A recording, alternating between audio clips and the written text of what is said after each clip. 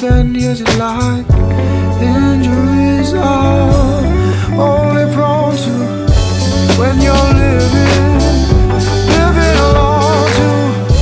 Feeling you got the soul, never gonna know you never let go, and never gonna reach too far 'cause you got it.